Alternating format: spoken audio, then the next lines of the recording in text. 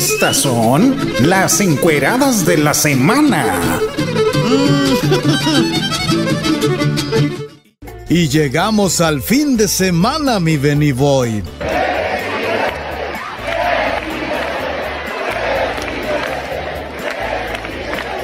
Y seguimos con las payasadas, mi ojitos de ficha aplanada. Nuevo León, quiero aprovechar que están todos ustedes aquí reunidos para darles una noticia. Sí me quiero convertir en presidente, es verdad. Todo listo.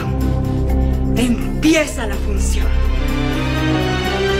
Por este chistecito fue que dejaron sin agua, dicen los productores del distrito de riego 026. Ya lo dijo don Marco Antonio Garza, presidente del Comité Hidroagrícola, que van a seguir peleando el agua si no producen de dónde vamos a comer. Quiero ser y recalcar y ser muy claro que ya fue mucho los atropellos que está haciendo tanto la Federación como Nuevo León en respecto en, la negativa de nuestras.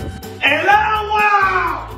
Pues ahora sí que les tronó la bomba. Y no como en el Teatro Amalia, en donde sacaron a toda la gente por una amenaza. En todas las salidas está completamente lleno, lleno el centro cultural, la parte de enfrente, donde han desalojado. Están saliendo eh, eh, grupos también eh, que estaban participando, niños, niñas y adultos entonces, esto es lo que sucede. Ya están por el lado del 15 los bomberos. Ándale, qué mal andan esos muchachitos, Benny, que usan los números de emergencia para bromear. Quiero hablar con Prudencia. Ay, aquí no vive Prudencia. No, digo que quiero hablar con Prudencia pero no puedo porque soy bien imprudente. Ya pidieron los de la mesa de seguridad que los pongan a barrer y limpiar escuelas para que se les quite lo canijo. Como decía ahorita, a lo mejor limpiar virus de escuelas o barrer calles, eh, eh, eh, proporcional al daño que causó, güey. Deberían de ponerse a trabajar como los diputados. ojalá, ya te escupí. Ojalá. Ellos ya trabajaron, mi carita de menudo mal lavado ya trabajaron y se merecen un relax. Mira a Beto Granados y doña Úrsula Salazar.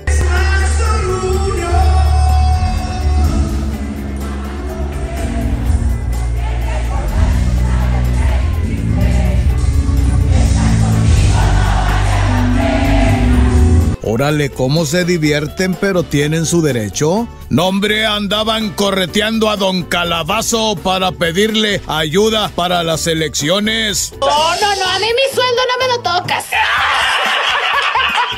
Mira, yo de mal pensado, mi Beni. Mal pensado quienes no ven las peripecias que pasó Elifa Gómez para llegar a la sesión. Yo solamente quiero saber de qué princesa es esta bota. Acá está la otra. Mira nomás, qué imagen. ¿A poco también se fue de fiesta? No, mi ojitos de pichorra. A él no lo llevaron, solo se andaba boleando.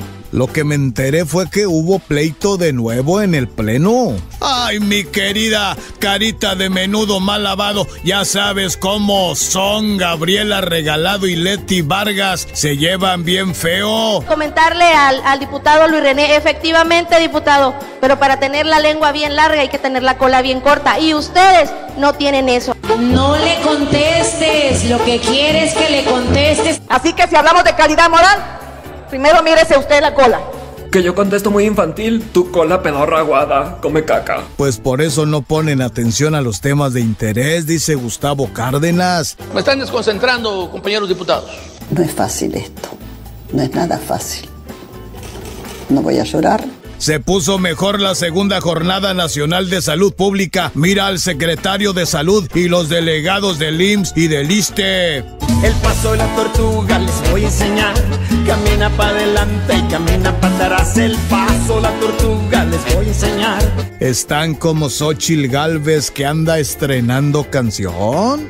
Ya lo verás. Apoya a Xochil Galvez y todo mejorará. Pues nada más que no se vayan a pasar de fiesta, luego les va a pasar como a tu tía que pensaron que se había ahogado. Y ya se me fue el discurso. Mira, ya párale mi chupacabra, ya mejor vámonos. Por eso hacemos lo que hacemos. Nuestras bromas y travesuras son la última línea de defensa contra la injusticia.